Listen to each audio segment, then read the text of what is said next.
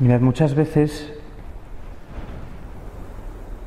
cuando usamos la palabra misericordia, eh, entramos en confusión, porque confundimos la misericordia con la mentira, confundimos la misericordia eh, con adaptar la fe o, o lo que Dios quiere para nosotros, o la moral o los mandamientos, a lo que a mí me va bien.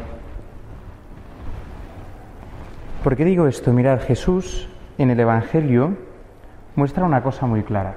Él no actúa según lo que piensan los demás.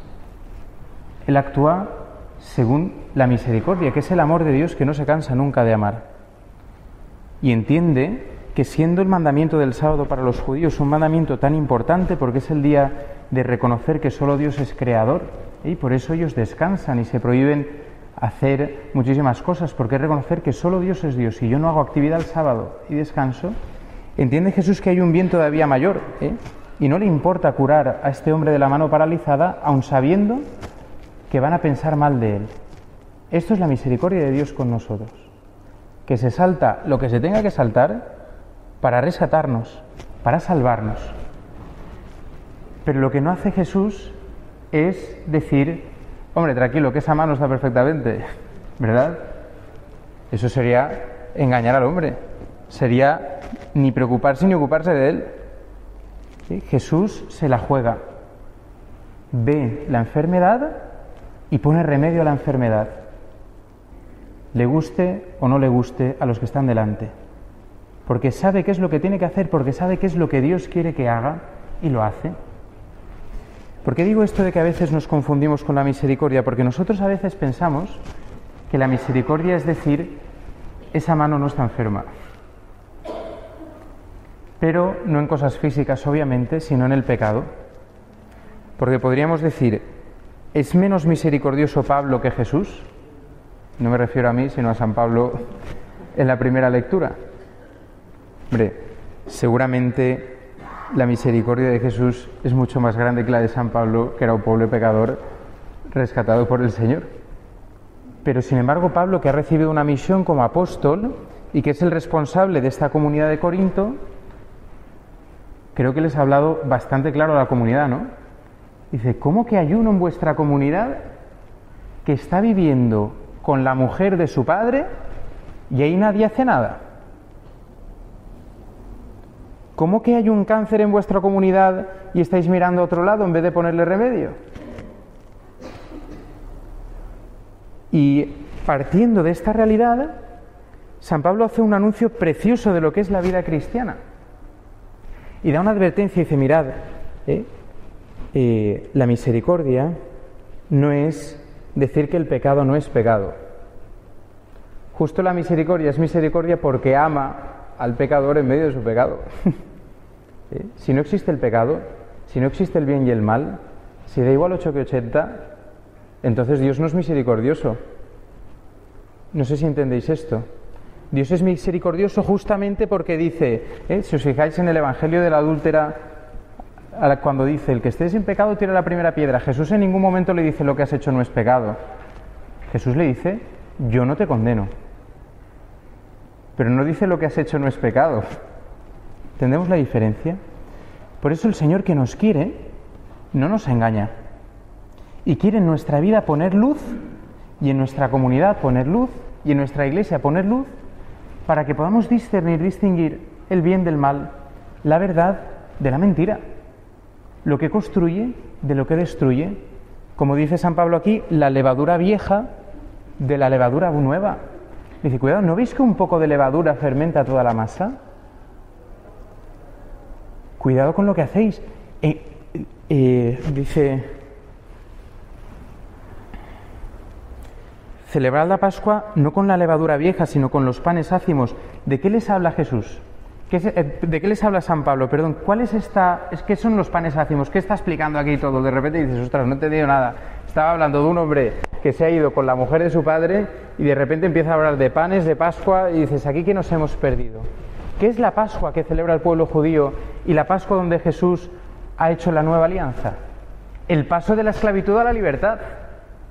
que los judíos celebran con el pan ácimo de aquella noche que no dio tiempo a fermentar porque el Señor los liberó en mitad de la noche.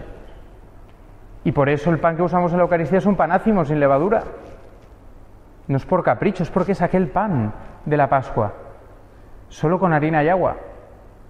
¿Qué es este pan ácimo? Un pan que está hablando de la liberación, del paso de la muerte a la vida, del, del bautismo, de algo que ha comenzado de nuevo, de una nueva creación que Dios ha hecho. Lo que les está diciendo San Pablo aquí es decir, vosotros, esta comunidad cristiana ha sido rescatada para vivir como hijos de Dios, para vivir de una manera nueva. Quien no quiera vivir de una manera nueva, pues que no esté en la comunidad. Si el Señor te trae a su iglesia, no es para dejarte viviendo en el pecado, no es para dejarte revolcarte en tu fango, es porque quiere hacer un camino de salvación contigo. Y lo hace con paciencia, pero con firmeza. Y lo hace con compasión, pero con verdad. Porque ama, porque ama. ¿Eh? Hay un teólogo, creo que es francés, dominico, que dice, los enemigos de la Iglesia, perdón, dice, la Iglesia es muy firme en sus principios porque cree. Y es comprensiva con las personas porque ama. Y por lo tanto perdona. Que es lo que ha aprendido de Jesucristo. Pero los enemigos de la Iglesia son muy flexibles en los principios. No, todo vale, lo que piense cada uno, eso bueno, verdad o mentira, bueno, el bien o el mal, eso es un invento, pues según a ti te convenga. Hombre, el bien común, no, vamos a hablar del interés general. Eh, no, no, son muy flexibles en los principios, pues cada uno según lo que piense, según lo que crea. Si para ti es pecado, pues es pecado. Si para ti no es pecado, pues no es pecado, ¿no? Dice, pero luego son intransigentes con las personas, porque en el fondo no aman a la persona. Y si os fijáis, nos pasa un poco. ¿eh? Si le dais un poco de de vueltas a esta frase y pensáis en nuestra sociedad y en nuestro mundo, cuando nos separamos de Dios, desaparece la verdad y por lo tanto todo nos vale, pero al mismo tiempo desaparece el amor verdadero, el que se preocupa y se ocupa del otro, y carga con la carga del hermano, y se compadece, es decir, padece con el que sufre, y acompaña al que necesita ser acompañado.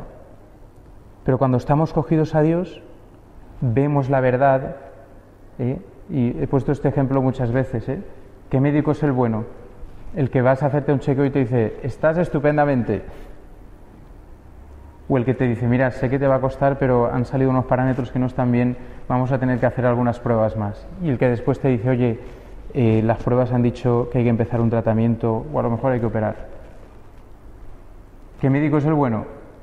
el que te camufla el diagnóstico o el que te dice el diagnóstico aunque no te guste y después te aplica el tratamiento adecuado. Pues eso es lo que hace el Señor, que es médico también con nosotros. Yo os invito en esta tarde, ¿no? a la luz de esta palabra tan fuerte del Señor, que cada uno de nosotros le podamos decir, Señor, que yo no quiera vivir dos cosas a la vez. Si tú ya me has mostrado que tú eres eh, amor, que tú eres mi Padre, mi Creador, que tú eres el que me enseña, que tus mandamientos son vida. Señor, tú tienes palabras de vida eterna, tus palabras son espíritu y vida. Lámparas tu palabra para mis pasos, Señor, luz en mi sendero. Si ya lo he descubierto, pues a lo mejor no tengo fuerzas para cambiarlo todo de golpe, pero sí que en mi corazón está la disposición de ponerme en camino. Sí que pueda reconocer si hay algo en mi vida estable que no me deja avanzar en el camino de la fe, que pueda ponerlo delante de ti, que tenga el deseo, Señor, de que tú me transformes. Hazme pequeño, hazme pequeña, hazme humilde para poder reconocer que necesito de ti.